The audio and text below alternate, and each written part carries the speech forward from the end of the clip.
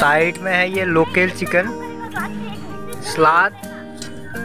कुछ mix fry दाल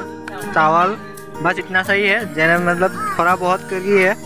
मज़े से खाएंगे हम सभी लोग और हमारे सभी लोग खा रहे हैं और एक वहाँ पे बैठा हुआ देखिए पत्थर के ऊपर खड़ा हुआ है सभी खा रहे हैं और ये है हमारा छोटा चेतन